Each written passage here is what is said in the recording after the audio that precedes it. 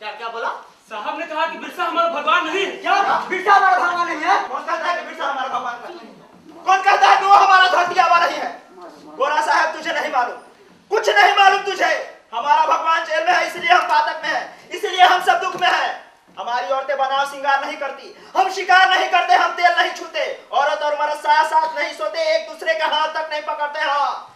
अरे मैं पूछता हूँ, जब उसे कैद कर रखा है तो उस पर मुकदमा क्यों नहीं चलाते? फैसला क्यों नहीं सुनाते? तीन चाँद बीत कर उसे कैद करके रखा है? क्यों? अरेस्टेड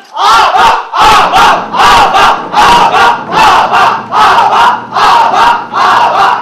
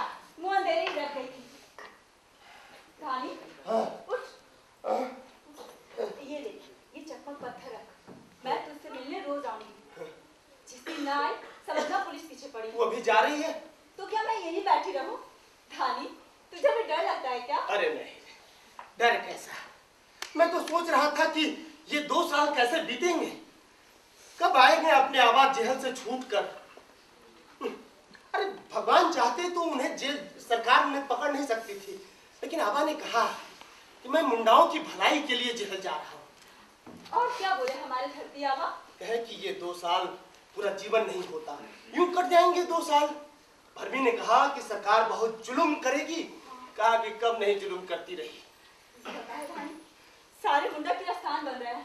अरे बनने दे बनने दे। सूखा अकाल खेती नहीं रोजी रोटी नहीं।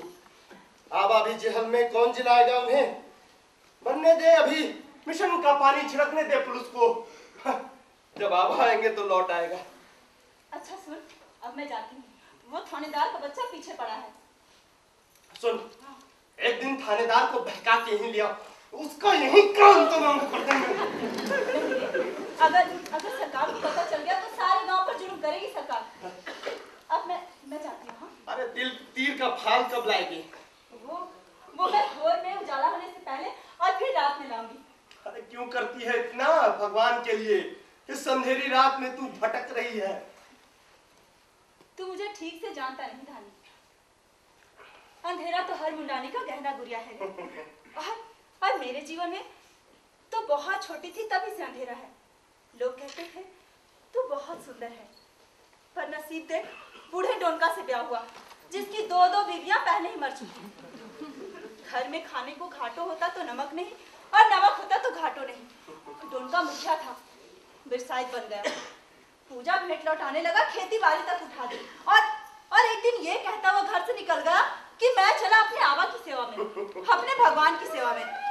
मैं मैं पगली मुखिया की तरह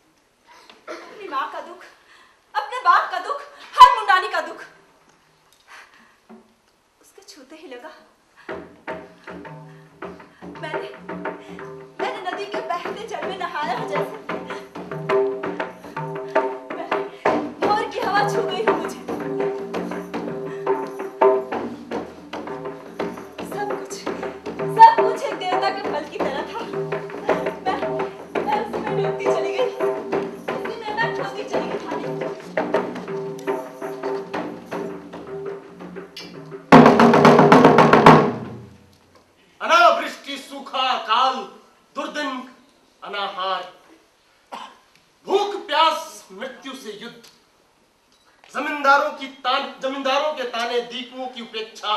अंग्रेज़ों का आतंक और सिपाहियों का जुल्म ऐसे ही दो बरस बीते सन अठारह के नवंबर माह की तीसवीं तारीख को जेल से छूटा बिरसा। मुंडाओं के भगवान आए धरती आबा आए। सुन अरे अपने आबा जहल से छूट गए हैं।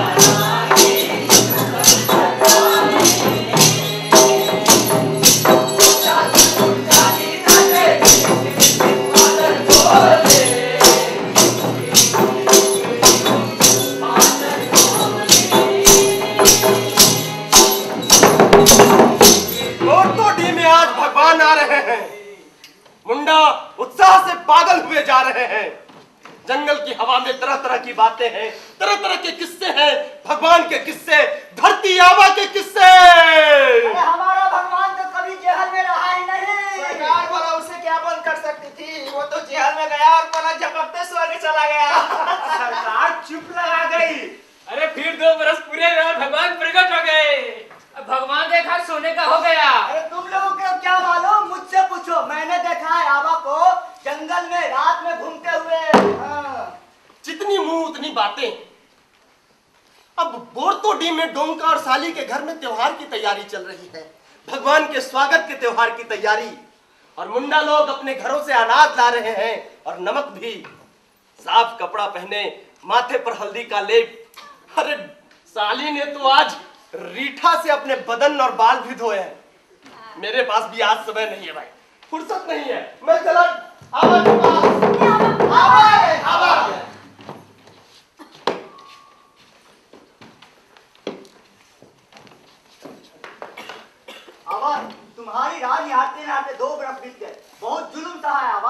अकाल सरकार बोली सबको खैरात मिलेगी। हम आस लगा किसी ने कुछ नहीं दिया। सरकारी वही खाते में लिख कर बड़े लाट साहब को भेज दिया कि सबको दिया। पर मैं हर जा गया। साहबों से मिला थाने में भी गया। वे लोग कहते हैं कि चालीस में तो अकाल में था बहुत लोग भरे पर उन्होंने चालीस लिख कर भेज दिया। हम्म, जमींदार लोग कर्ज नहीं देते खलिहान में घुसने नहीं देते थे। सारा धान चावल छिपा दिया था। बात का टूसा तोड़ने पर भी पुलिस से पकड़वा देते थे। बहुत जुलूम किया है आवा लगान बढ़ाने का लगान वसूली कम बना। सुमारा ने चिट्ठी लिखवाकर जेकब को दी। जेकब रांची आया। अकेला बड़ा साहब है जो मुंडा वकील लड़ता है। हम्म, हम्म, जेकब ने कहा जब तक मुंडा मुंडारी में नहीं चिल्लाएँगे सरकार नहीं सुनने वाली। नहीं सुनने वाली सरकार सरकार सुनने वाली सरकार।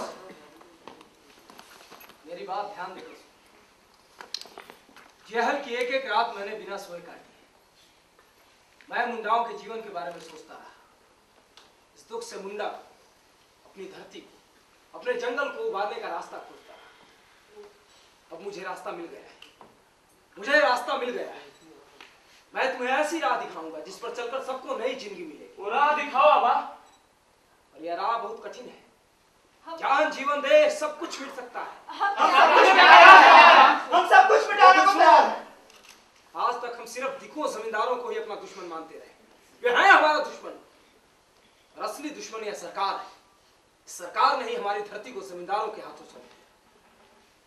जमींदार अब बेगारी भी खटा रहा है और लगान भी वसूल रहा है।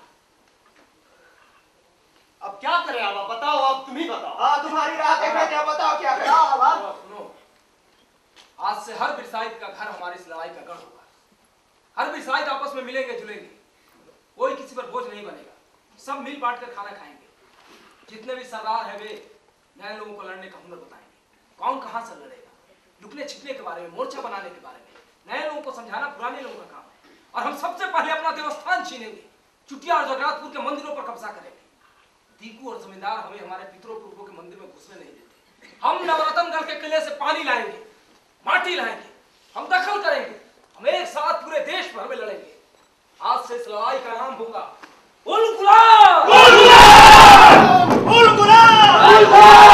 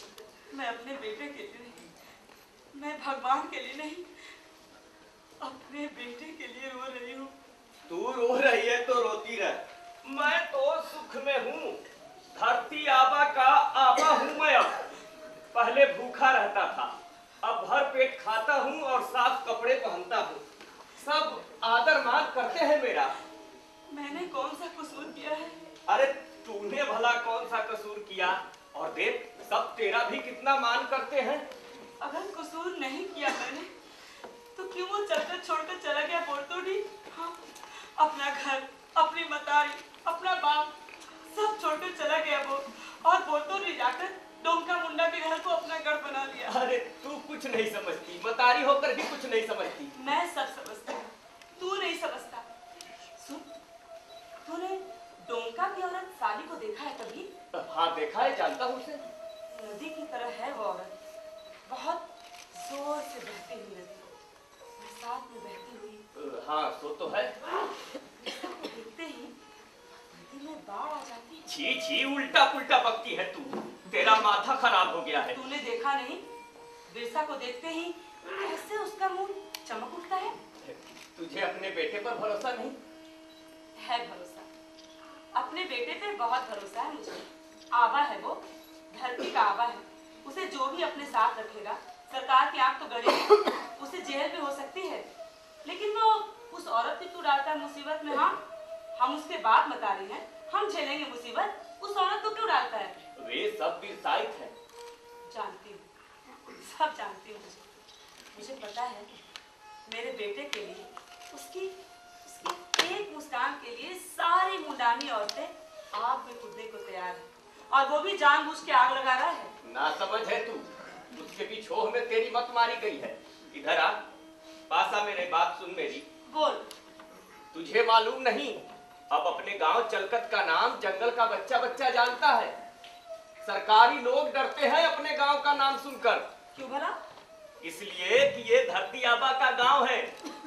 लेकिन वो तो बाम्बा में जन्मा। अरे अब किसको किसको बताते फिरे कि वो बाम्बा में जन्मा? सब जान गए हैं चलकत के बारे में। अच्छा ठीक है। वो कैसे? ओ देख बोरतोडीह में सरकार और पुलिस जल्दी नहीं जा सकती। बहुत घना जंगल है डोम्बारी पहाड़ है और डोम्बारी के चारों ओर हैं और भी ढेर सारे पहाड़। सैलराकार ओड़ा बिचाबुरु त्रिलकुटबुरु बस एक ही तरफ़ से खुला, सिर्फ़ एक ही राह है। और उसे भी बंद कर दिया तो पंछी भी पर नहीं मार सकता। बुलबुलान होगा तो छिपने की जगह तो चाहिए। बोरतोडीह के जंगल और पहाड़, सबकी जान बचा सकते हैं। बहुत घना जंगल है। और सुन, अब वो सिर्फ़ तेरा बेटा नहीं आबा है वो मुंडाओं का। और उनकी भलाई के लिए तो उसे सोचना ही होगा। और तू ये उल्टी पुल्टी बातें मत सोचा कर। ए तू भी जाएगा डोमारी पहाड़ पे? हम्म। चल। चल रहा हूँ चल रहा हूँ चल रहा हूँ। चल रहा हूँ। जब से आबा जेल से छूटे हैं उनके साथ साथ चल रहा हूँ। आबा ने कहा कि चुटिया चलो। सारे मुंडा चुटिया जा रहे हैं। चल। भाई चुटिया।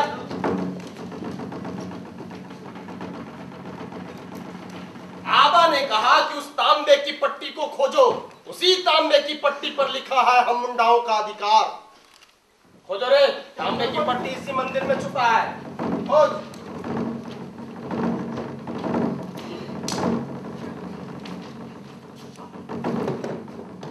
नहीं मिली। नहीं मिली हाँ नहीं मिली तांबे की पट्टी। नहीं मिली। अरे दीखू और महाजनों ने उसे पहले ही लूट लिया। मुंडाओं के चुटिया पुट्टी वंश के राजा थे रघुनाथ। उन्होंने बनवाया था ये मंदिर।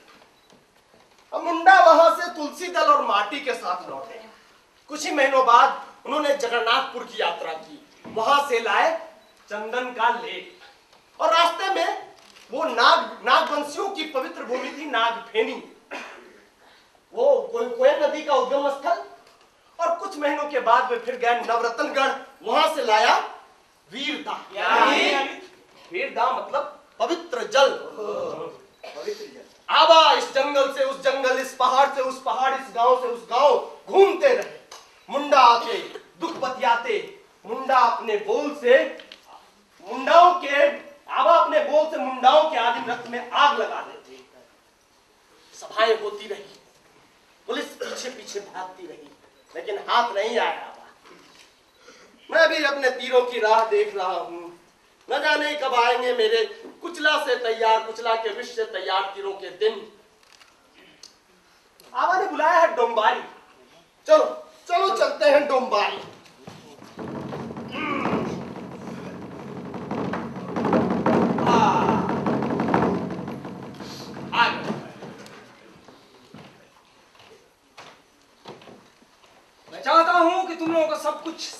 साफ़ साफ़ बता दूँ। ये उलगुलान हँसी खेल नहीं है। मैं नहीं चाहता कि कोई आँख मूंद कर इस उलगुलान में शामिल हो। दो राह हैं। एक है बिना हथियार से लड़े अपना हक पाने की राह। और मुझे नहीं मालूम कि इस राह पर चलकर कितने दिनों में हक मिलेगा अर्जी दाखिल करो, मुकदमा लड़ो, कानूनी राह से चलो। मत काटो जंगल, मत करो शिकार। बेगार से ना मत करो। इस राह पर चलकर बाबू लोग दीकू लोग, बनिया महाजन सरकार सब खुश होंगे। ये तो बहुत कठिन रहा है आबा इसी राह पर चलते चलते हम लोग थक चुके हैं। इसी राह पर तो हम लोग थके जा चुके हैं। दूसरी हथियारों से लड़ाई की राह है। पर यह भी कम कठिन नहीं है। सब कुछ छूट सकता है। घर परिवार औरत बच्चे जेहल जाना पड़ सकता है। जान जा सकती है। और कोई राह भी तो नहीं अबा। ऐसी ही कौन सी सुख है जो इस दुख की फ़िक्र करे? अगर इस राह पर चलना है तो धोखे में मत चलना। मैं तुम्हें दुख ही दुख दूँगा। मौत के दरवाजे तक ले जाऊँगा। और फिर तब मिलेगा सुख। अपने राज में। मुंडा राज में बिना किसी डर के जीने का सुख। कानून और कचहरी की राह नहीं चाहिए भगवान। हम लड़ाई की राह पर चलेंगे। जो भी शायद नहीं है वो भी उल गुलाम में हमारे साथ होना चाहते हैं। कई पहाड़ बोझा देवरा भी हमारे साथ मिलकर लड़ना चाहते हैं। कहते हैं पहले मुंडा राज हो जाए फिर हम सिंबोगा से समझ बुझ लेंगे। ए, ये झंडा मुंडा लोगों का झंडा है और वो दूसरा लाल झंडा दिकुओं का है। उन्होंने हम पर जुल्म किया है। हमारा खून चूसा इसलिए उनका झंडा लाल है। अब हम सब मिलकर उनसे लड़ेंगे। और उनका इतना खून बहाएँगे कि इस टोंबारी पहाड़ के सारे पत्थर लाल हो जाए। देखो वो पीछे दिख रहा है डोमरा पहाड़। सबसे ऊँचा और सबसे बड़ा पहाड़ डोमरा पहाड़। इस पर चढ़ना आसान नहीं है पर मुंडा लोग इस पर दौड़ कर चढ़ जाते हैं। बाघ पीछे लगा रहे तो भी हिरन के पैर फिसल जाए पर मुंडाओं के पैर नहीं फिसल सकते। उलगुलान के समय हम सब वहीं छिपेंगे डोमरा की गुफाओं में हमारा ठिकाना होगा। सारे नौजवान जो इस उलगुलान के नानक हैं तीर धनुक और फरता कुल्हाड़ी जमा करेंगे। गुलाम जंगल में गाँव गाँव कर उलगुलान के बारे में बताते, समझाते, फिर रहे औरतों की मदद लेंगे। पानी की तरह पसर जाओ जंगलों में। पेड़ों पर मचान बाँध कर घर बनाओ और रहो। इन घरों से लड़ाई के समय भागना पड़ेगा। गुलाम गुलाम रांची में उलगुलान होगा। चाईबासा में होगा। इस जंगल के कोने कोने में उलगुलान होगा। साहबों और सरकारों को पागल कर देंगे। कितने सिपाही और कितनी बंदूकें लाएँगे। अकेले कहाँ कहाँ जाओगे भगवान? मैं अकेला कहा हूँ। तुम सब हो साथ में। सुनो! ध्यान से सुनो मेरी बात। आज अघन महीने की दसवीं रात है। पूस महीने के दसवें दिन साहबों का त्योहार है। बड़ा दिन का त्योहार। उससे पहले जंगल में, पहाड़ की चोटी पर, हर दिशा में आग जलेगी। बस उसी आग को देखकर समझना कि अब उन गुलाम का समय है। नाचो! गाओ! इतना नाचो कि इस जंगल की काली रात मिट जाए। तारे उतर आए ज़मीन पर बतास भर जाए। उल आ जाए। बोलो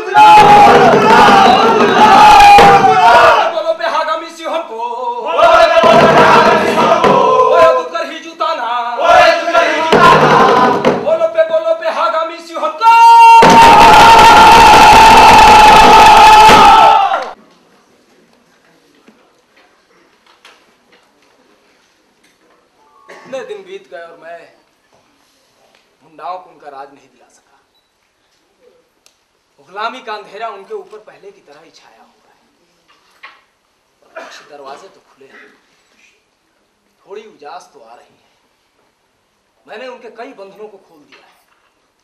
वे अब प्रेतों से नहीं डरते। वे अब असुरों की पूजा नहीं करते। अब उन्होंने ओझाओं पहानों को भेंट चढ़ाना बंद कर दिया है। पर मैंने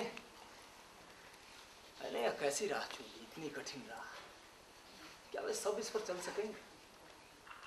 जानता हूँ मैं, यह कठिन राह। है पर यही एक राह है जिस पर चलकर मुंडा लोग गोरे साहबों के डर और पकड़ से आज़ाद हो सकते हैं। वे गुलामी के बंधन से छूटना चाहते हैं और इसके लिए उन्हें एक भरोसा चाहिए और उस भरोसे को उन्होंने मेरे भीतर पाया। उन्हें एक भगवान चाहिए वे धर्म के बिना न तो जी सकते हैं और नहीं मर सकते उन्होंने मुझे अपना भगवान माना और मुझे उनका भगवान बनना पड़ा। क्या करता? उनके भरोसे को कैसे तोड़ता? मैं जानता हूँ जमींदारों साहबों की ताकत। पर हार के डर से लड़ने को रोका नहीं जा सकता। मैं जानता हूँ बंदूक की ताकत को। मालूम है मुझे कि संथाल हूल में हारे कोल खरुआ सरदार सब हारे। पर लड़ाई सिर्फ़ हार जीत नहीं होती। मुझे अपना अंत मालूम है। और मैं जानता हूँ कि यही एक राह है जिस पर चलकर उन्हें जीत मिलेगी। लंगोटी पहने, तीर धनुई लिए भूखे पेट मुंडाओं को मैंने निडर किया है। आज हर मुंडा निडर है और दुनिया पर राज करने वाले साहेबों के सामने छाती ताने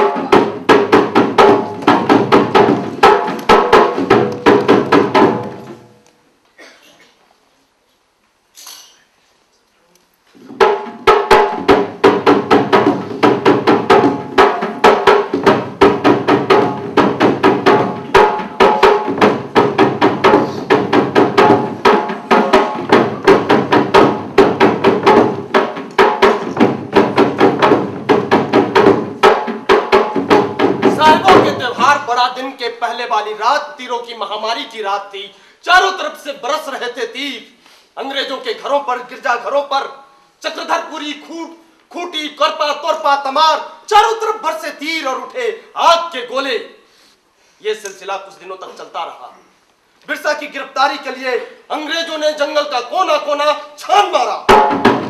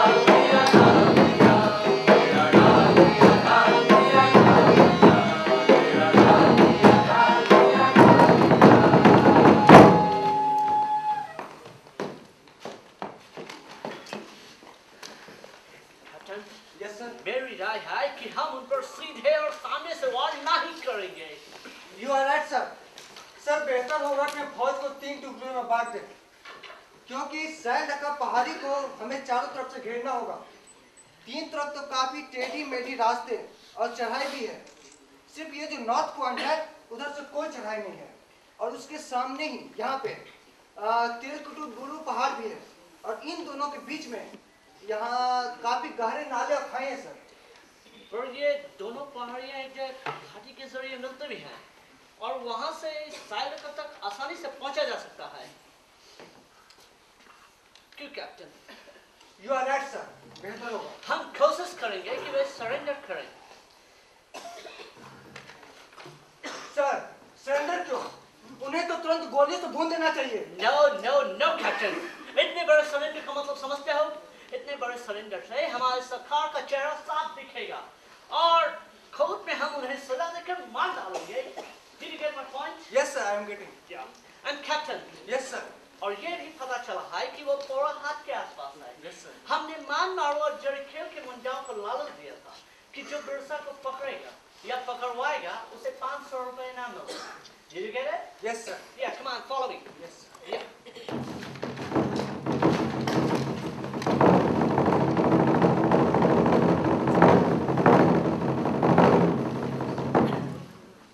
सेंतरा के जंगलों के एक कोने से धुआँ उठा अंग्रेज़ों के आतंक भूख से बेहाल और इनाम के लोभियों ने वो धुआँ देखा और रेंगते हुए वहाँ पहुँच गए उन्होंने दबोच लिया अपने ही पिता को अपने ही भगवान को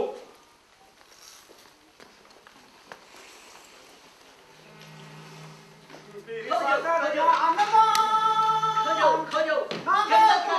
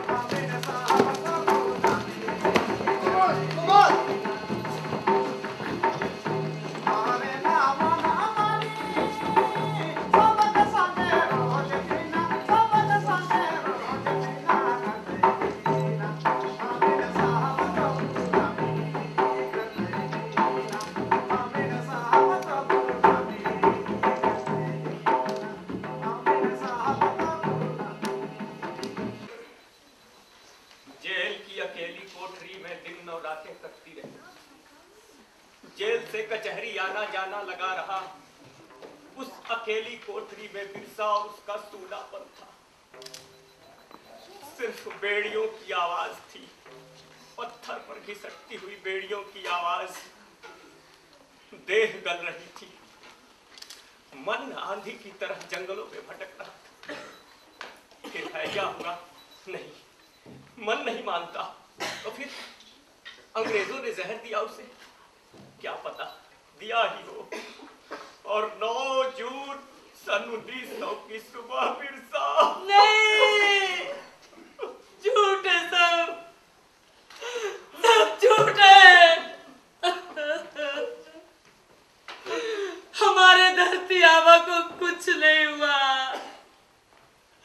हमारे भगवान को कुछ नहीं हो सकता। वो ज़िंदा भगवान था।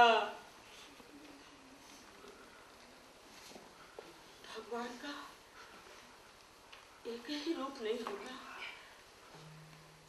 उसने कहा था सुनो मुंडा लोगों सुनो।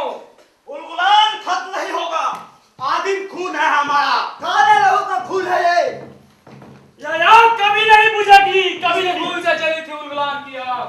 लौट कर आऊँगा मैं। लौट कर आऊँगा मैं। जल्दी ही लौट कर आऊँगा। धरती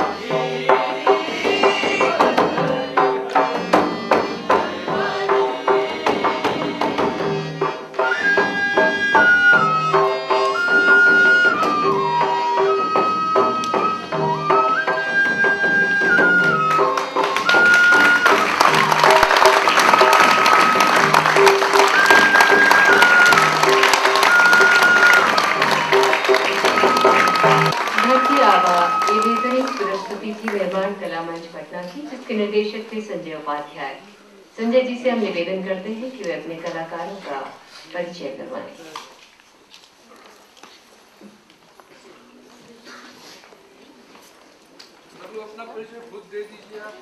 वहाँ से शुरू करें। ये लंबी चौड़ी मैं लक्ष्मी मिश्रा साली की भूमिका में थी। मैं राजेश कुमार सिन्हा धानी मुंडा मोरस और पुलिस के रूप में। मैं संतोष मेहरा भर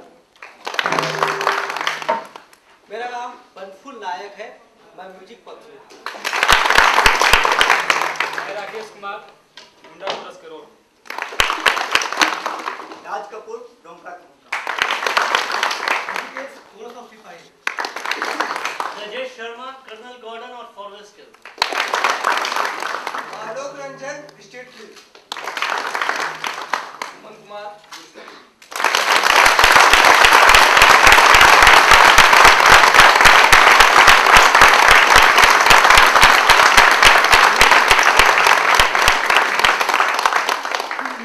रमेश प्रभात सुगना मुंडा फोरस मुंडा राजेश तिवारी गान वेद कुमार गया की भूमिका मैं शारदा सिंह कर्मी बिरसा की माँ मनोज कुमार बाबू की भूमिका मैं हूँ कलेश नायक गायक के रूप में और वादक मैं हूँ शिबू नायक ढोलक मादक के रूप में। मैं लालू शंकर माली सारंगी एवं बांसुरी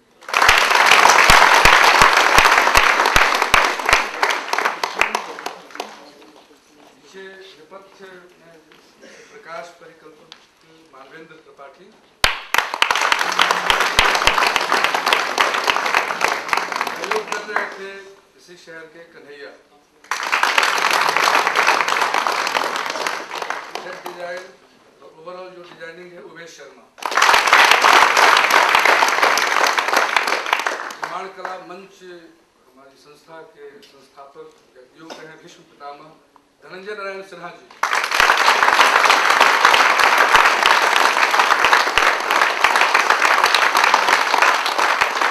और मेकअप में विनय राज।